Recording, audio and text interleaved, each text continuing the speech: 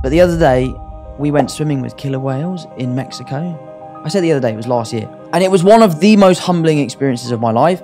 There's no proof of it, there's no evidence because it was so off the cuff. We weren't planning on doing it. So most people I tell are like, you definitely didn't do that. We were in Mexico and we were on a boat and we just so happened to see this pod of orca. Jack, my security guard, thought it'd be a good idea to jump in.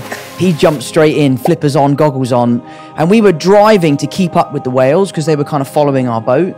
So by the time Jack had jumped in, he was like 100 meters away and you could see him and the whales were like swimming around him. So I said to the guy like, "Excuse me, sir, can you turn around and go and get my friend because we now can't see him anymore. Like he's Oh, gone." We found him, we got him back in the boat and he sort of said like, "Lads, you have to get in. There is it's unlike anything you've ever seen before." I jumped in. but Then Jack said, "Look down." And we looked down and it came from beneath us